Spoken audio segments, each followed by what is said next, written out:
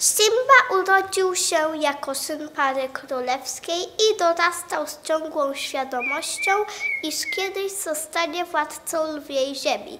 Dzieciństwo biegło mu beztrosko, aż do czasu, gdy... Simbo, drogi mój syn, czas pomyśleć o Twojej edukacji.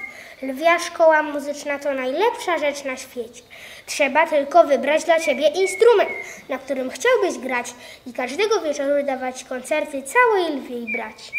Tato, tato, chciałbym grać na klarnecie. To mój ulubiony instrument. Mam nadzieję, że też inne lwy z naszej rodziny pomogą mi również śpiewać. Zaczynamy! I już się nie martw, aż do końca tych dni.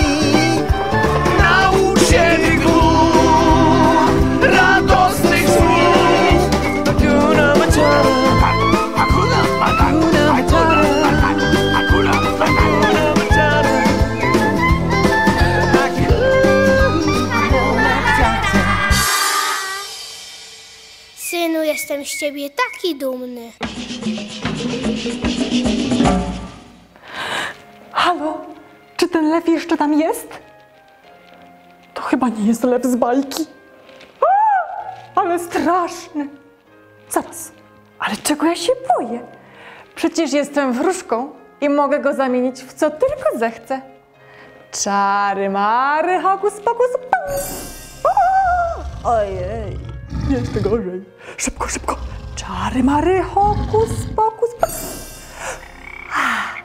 Tak jest dobrze. Teraz mogę zaprosić następnych wykonawców i powitać prawdziwego lwa z jego przyjaciółmi. W postacie z bajki Król Lew wcielą się Mikołaj Lenart, Oskar Żat i Szymon Lackowski.